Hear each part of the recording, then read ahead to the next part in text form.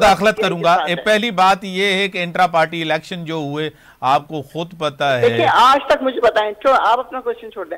आप मुझे ये बताएँ आज तक किसी के इंट्रा पार्टी इलेक्शन हुए हैं जिसको होते कहा हैं, जाए होते हैं, सदर- होते हैं। सदर नवाज़ शरीफ पता नहीं आगे शहबाज शरीफ फिर आगे मरियम नवाज़ फिर आगे और दूसरा आप जो मखसूस नशस्तें तो, कह रही हैं जिसको आपने ज्वाइन किया है उनके निशान पे आप लड़े नहीं है उन्होंने निशान अलाट नहीं किया सुनी इतिहाद कौंसिल का कोई कोई टिकट जारी नहीं हुआ कुछ भी नहीं हुआ कोई कानून भी तो कोई चीज़ होता है। तो कानून क्या चीज़ है? इससे ज़्यादा और क्या कानून की इनके लिए कानून कुछ भी नहीं है।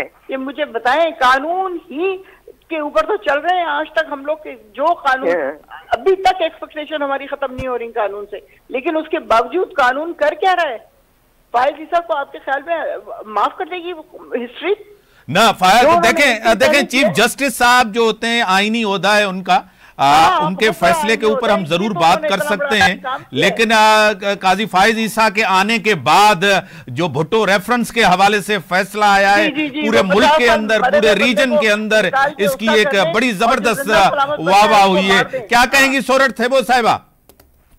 बिल्कुल जो है मैं समझती हूँ काजी साहब ने एक तारीखी फैसला दिया है जो जो मैं समझती हूँ कि इस वक्त एक सियासत के लिए जमहूरियत के लिए एक बेहतरीन फैसला है मैं समझती हूँ ये दुनिया में मैसेज जाएगा। कि देखो इनकी जो अदालतें हैं अब ये बेहतरीन फैसला दे रही हैं क्योंकि इनको तो अपनी बिल्कुल, मन आपके हाथ में हो मनपसंद रहा है जो बाबा डैम वाले थे ना जो बाबा डैम के का फैसला देते थे इनके मर्ज़ी के फैसले होते थे ये कुछ भी करे बड़ी मेहरबानी बड़ी मेहरबानी बड़ी मेहरबानी तव्हां टाइम ॾिनो तारीख़ी फ़ैसिलो शहीद ज़ुल्फ़कार अली भुट्टो जे हवाले सां उनखे फेयर ट्रायल न मिलियो। सिंध असेंबली जे अंदरि करारदाद मंज़ूर थी। शे जुल्फ़ार अली भुट्टो खे जमहूरी हीरो, अवामी हीरो करार ॾिनो वियो बलोचिस्तान असेंबली जे अंदरि बि करारदाद खे पेश कयो वियो आहे। मुल्क जे अंदरि सियासी जमातुनि ते ज़िमेदारी हूंदी अवामी मसइला हल कर।